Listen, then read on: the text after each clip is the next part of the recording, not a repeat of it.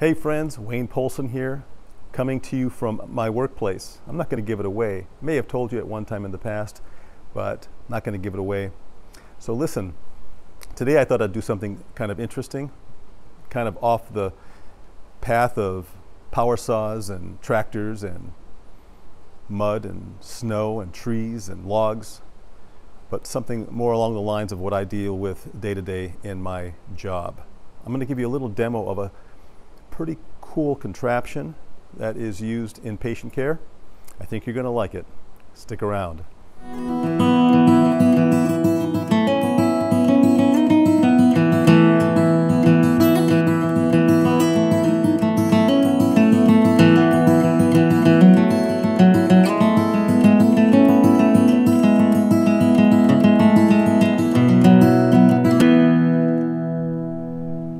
This device is called an AccuVein.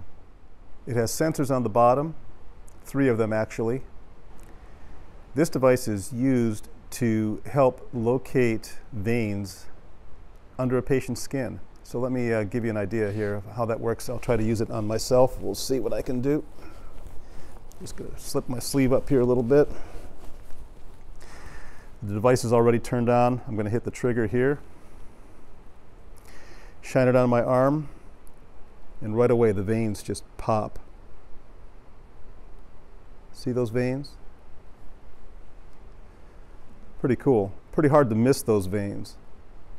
When I turn the image off, there's nothing there. Pretty cool device, huh?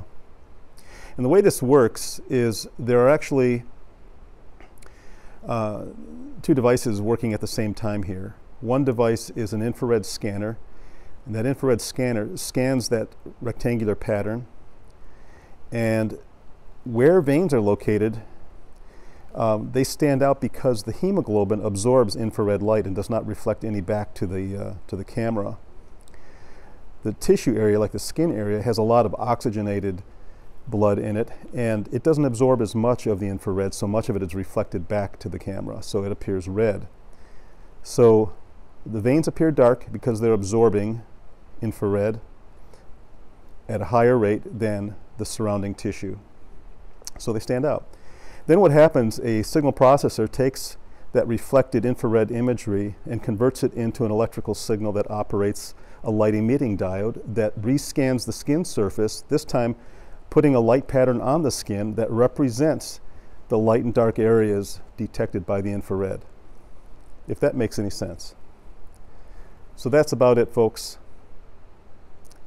That's the AccuVein. And really, um, what this is used for is to help physicians, help nurses, help phlebotomists, whoever might be involved in injecting needles into someone's arm. It helps them to locate the vein the first time.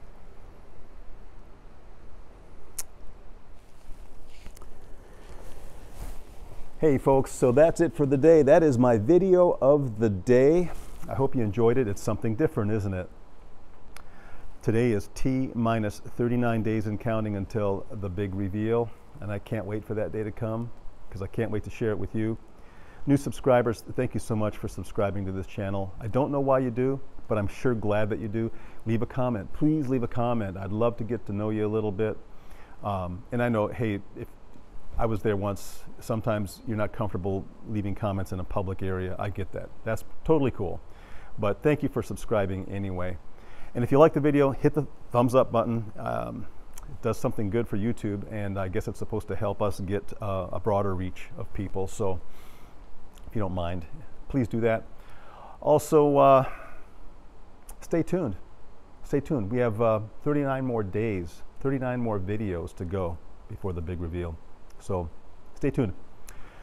Folks, love you all so much. Thanks for watching the video. Be kind to one another. Spread the love. Spread it far and wide. Spread it in your neighborhood. Spread it in your home. Spread it all around. This world needs your love. We need each other's love, don't we? All right, you take care, folks. See ya.